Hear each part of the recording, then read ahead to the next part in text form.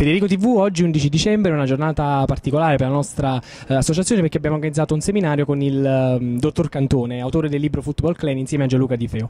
Cioè, stamattina ci fa compagnia il presidente dell'ordine dei giornalisti Ottavio Lucarelli al quale vorremmo subito chiedere eh, Presidente, questo è un, è un esperimento, esperimento il nostro, partiamo da qui per eh, un punto di partenza per coinvolgere i giovani in iniziative del genere. Lei cosa ne pensa? No, no, fate bene a sperimentare. Io sono arrivato qui con un po' di anticipo, ho visto già la sala piena di ragazzi, di giovani, no, importante, importante, tra l'altro in una uh, aula prestigiosa come l'aula dei Santis, con ospiti importanti, tra l'altro il magistrato Cantone è un magistrato che ha avviato, ha condotto inchieste importanti e sta scrivendo libri importanti. Questo, questo, libro appunto affronta un, un tema importante, attualissimo, che è il rapporto appunto tra le camorre e lo sport, il calcio, che non è solo lo sport più amato dagli italiani ma anche lo sport più amato dalle mafie.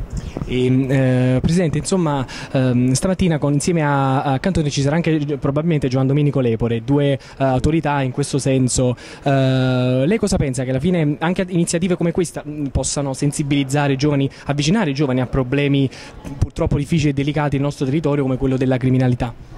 Come no, assolutamente, devo dire che poi appunto, come Presidente dell'Ordine mi invitano in, eh, poi in tutte le zone della Campania, essendo un ordine regionale e siamo presenti e devo dire che ci sono tanti giovani mobilitati, eh, soprattutto proprio nelle zone eh, più esposte.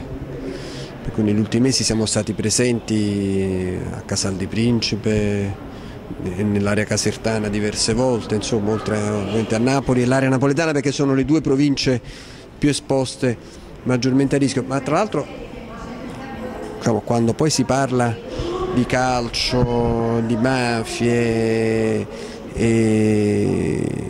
bisogna andare a fondo perché magari appunto si pensa soltanto ai campionati maggiori, invece c'è un fenomeno molto molto molto preoccupante di, di, di, calcio scommesse e altro nelle categorie inferiori che è un fenomeno molto più esteso di quanto si possa pensare.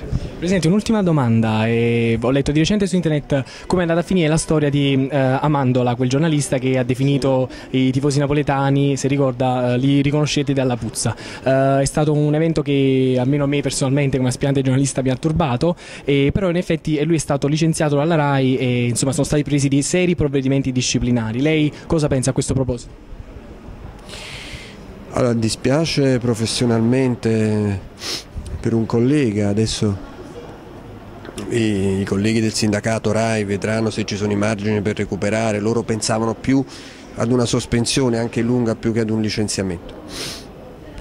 Dispiace per lui umanamente, personalmente speriamo che possa tramutarsi in, un, in una lunga sospensione. Detto questo però ci sono troppe persone che quindi, utilizzano questa professione in modo superficiale, in modo poco professionale, anzi professionalità zero in quel caso da parte di questo signore che aveva avuto la fortuna, noi siamo in un momento in cui eh, la nostra professione attraversa grandi difficoltà, abbiamo un gran numero di precari, questo signore aveva avuto la fortuna, anche l'abilità, la bravura diciamo, di, di di andare a lavorare alla RAI e ha giocato male le, le, sue carte in modo poco professionale. Se pensava di fare lo spiritoso non ha fatto ridere nessuno, eh, se pensava di... Tra l'altro poi quella frase l'ha detta lui, non almeno... Sì, cioè, nemmeno l'ultra della, della... È lui che ha detto ah, come li riconoscete, lui stesso insomma, quindi in un certo senso è stato molto molto più corretto l'ultra della Juventus piuttosto che il giornalista rispetto, rispetto, rispetto al giornalista che è stato peggio dei peggiori ultra.